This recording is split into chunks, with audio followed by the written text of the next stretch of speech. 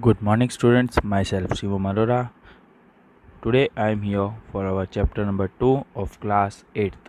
Our chapter name is What is Around Us. अब हम सबसे पहले चैप्टर से स्टार्ट करते हैं Devin was roaming in a garden with his mother while walking a question arose in his mind. Devin क्या कर रहा था अपनी मदर के साथ गार्डन में घूम रहा था। अब घूमते घूमते उसे एक अपने दिमाग में एक क्वेश्चन आया और वो अपनी मदर को क्वेश्चन पूछता है। Devin ask is mother what is the land made up of वो वहाँ पे क्वेश्चन क्या पूछता है अपनी मम्मी को कि जो हमारी लैंड है, वो किससे बनी हुई है? Mother replies do you see the sun every day क्या आप सन को पूरे दिन देखते हो? The sun too has a family which is known as the solar family अब सन के पास भी क्या है? एक खुद की फैमिली है। उस फैमिली को हम क्या बोलते हैं? Solar family our earth is a one of the members of the solar family अपना जो अर्थ है, वो भी क्या है? एक सोलर फैमिली का मेंबर है। The most point is that the one the earth amongst all the members of the solar family has got a suitable temperature, water, and the air to sustain living beings. अब जो इसके अंदर जो most हमारा important point क्या है? अर्थ का। Among all the जो उसके सारे के सारे जो मेंबर्स होते हैं उसका एक अलग अलग टेम्परेचर होता है वाटर एयर सब जगह आपको सुटेबल लिविंग बींग्स को वहाँ पे मिल जाता है। Generally, it is believed that the part of the sun which has been detached from the sun after the collision is अर्थ। अब यहाँ पे है, उसने क्या बोला? बिलीव दैट तो पार्ट है जो हमारे सन का जो पार्ट है, वो क्या है? एक कॉलिजन है जो अर्थ के थ्रू होता है। At the time of is origin it was the form of a fire ball जो सन है, वो क्या है? एक हमारा फायर बॉल है। The fire ball start to cool down slowly. और क्या होता है, जैसे जैसे वो फायर बॉल होता है, कूल डाउन होता है slowly, the many elements of the earth got transform into liquid and further into the solid form. और जो जैसे जैसे वो ठंडा होता है, वैसे क्या होता है, जो लिक्विड फॉर्म की जो चीज़ें होती है, वो सॉलिड फॉर्म में होने लगती है। During this process, the element which got transformed into the solid are known as lithosphere.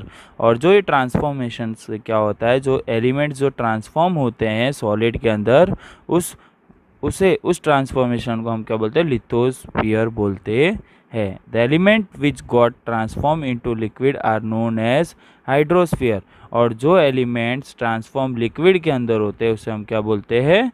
Hydrosphere the element which transform into the gaseous called the atmosphere और जो भी एलिमेंट्स गैसियस के अंदर ट्रांसफॉर्म होते हैं, उसे हम क्या बोलते हैं? एटमोसफियर बोलते हैं।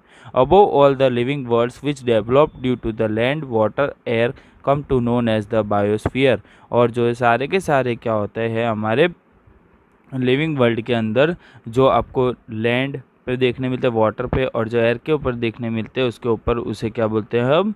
बायोस्फीयर बोलते हैं।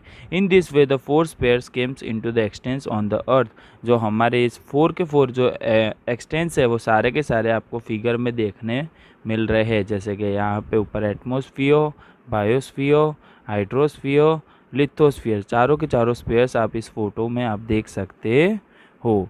ओके? अवर अवर, आज हम जो इसके अंदर, जो इसमें चार टॉपिक में से आज हम दो टॉपिक पढ़ेंगे, जिसका फ़र्स्ट टॉपिक है लिथोस्फियर और सेकंड टॉपिक है हाइड्रोस्फियर ओके? अब हम देखते हैं लिथोस्फियर क्या है the sphere on which we lives is known as the lithosphere अब आप जहाँ पे हम रहते हैं, उसे क्या बोलते हैं?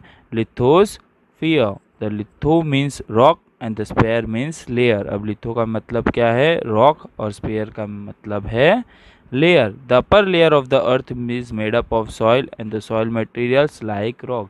अब जो हमारा जो अपर जो है पार्ट उससे किससे बना हुआ है? सॉइल का बना हुआ मीन्स मिट्टी का, और उसके सॉलिड मटेरियल्स का बना हुआ है जो पत्थर का। Approximately the 29 percent of the surface of the earth is cover with lithosphere और जो अप्रोक्सीमेटली जो हमारे पार्ट है पूरे इसमें, कितना परसेंटेज कवर किया हुआ है 29 परसेंट कवर किया हुआ है। This layer is almost 64 kilometres to 100 kilometre thick और ये कितनी थिक लेयर है इसकी? 64 kilometres to 100 kilometre thick layer है अर्थ की। The thickness of the lithosphere is not the same everywhere on the earth और जो सारी की सारी जो थिकनेस होती है, वो हर एक जगह सेम होती है नहीं। Similarly, their interior and the exterior do not have their identical feature uh, physical features. और इसका क्या होता है? जो इंटीरियर और जो एक्सटीरियर होता है उनका क्या होता है? उनके पास जो आइडेंटिकल फ़िज़िकल फीचर्स नहीं होता है। It is a most made up of a substance like soil and rocks और जो ये सब्सटेंस होते हैं किससे बने गए होते सॉइल एंड रॉक से बने गए होते हैं। The land forms like the mountain plateaus plains and the valley are seen on the lithosphere अब आप जो लिथोस्फियर है, आपको उसके ऊपर आपको क्या देखने मिलता है? हमें माउंटेन हो गए प्लेटूज हो गए प्लेन्स हो गए वैलीज हो गए, ये सारी चीज़ें हमें लिथोस्फियर पे देखने मिलती है। The temperature increase as we move towards the centre of the earth the molten rock in the interior of the earth are known as magma अब जो हमारा जो टेम्परेचर है, वो अब जैसे कि जैसे सेंटर ऑफ़ अर्थ के साइड बढ़ते जाओगे, वैसे के वैसे क्या होगा? बढ़ता जाएगा। और जो मोल्टन रॉक्स होते हैं इंटीरियर ऑफ़ द अर्थ के, उसे हम क्या बोलते हैं? मैग्मा बोलते हैं। There are many gases present in the interior of the earth which rise up with the pressure and the heat अब वहाँ पे बहुत सारी गैसेस होती है इंटीरियर ऑफ़ द अर्थ के अंदर, और वो क्या होती है राइस अप भी होती है प्रेशर से, और उसमें हीट भी ज़्यादा होती है। But the pressure of the rock of the surface of the earth is equally strong और साथ ही साथ क्या है, जो रॉक का जो प्रेशर होता है अर्थ के ऊपर, वो भी क्या होता है, एकदम स्ट्रॉन्ग होता है। There's balance between the two is maintain और क्या होता है, दोनों के बीच में बैलेंस हमेशा मेंटेन रहता है। So the crust of the earth does not break और इससे क्या होता है? जो बैलेंस मेंटेन रहता है तो उससे क्या होता है? जो अर्थ का जो क्रस्ट होता है, वो कभी ब्रेक होता है नहीं। When the balance between the two is not maintain the crust break as a volcano erupt और कभी भी अगर बैलेंस इन दोनों में नहीं होता तो उस टाइम क्या होता है? हमारा वॉल्केनो ब्रस्ट होता है वहाँ से इरप्ट होता है वहाँ से, जब भी दोनों का mama how is the lithosphere use to us अब जो देविन था, वो वापिस से पूछता है उसकी मम्मी को क्वेश्चन पूछता है, वो क्या क्वेश्चन पूछता है? How is the lithosphere useful to us कि हमें जो लिथोस्फियर है, वो किस तरीके से यूज़ होता है? Where can we construct our home if the lithosphere is not there कि अगर वो बोलता है कि अगर लिथोस्फियर नहीं होता तो हम हमारा घर कहाँ पे बनाते?